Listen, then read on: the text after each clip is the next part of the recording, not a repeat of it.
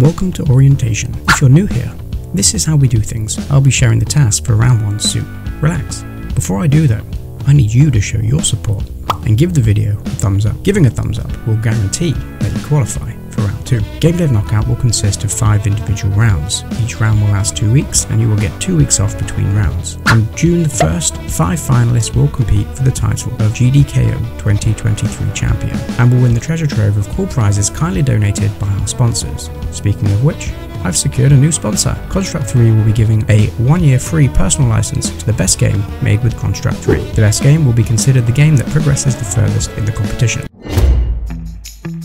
Your task for round 1 centers around art and visuals. In your own style, create a level.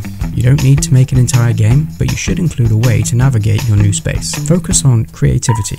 Avoid hashing out the same old roguelike dungeon you've made a hundred times. Think outside the box and create a new land. Be inventive. Does the game need to be a platformer? Can you bend this task to fit a puzzle game? I'm keen to see what you come up with. If you have questions, join the Discord. Good luck, and I'll be back at the end of the round congratulate some of our winning entries, say goodbye to the devs that didn't make it, share our GDKO judges wildcard pick, and of course, reveal the task for round 2.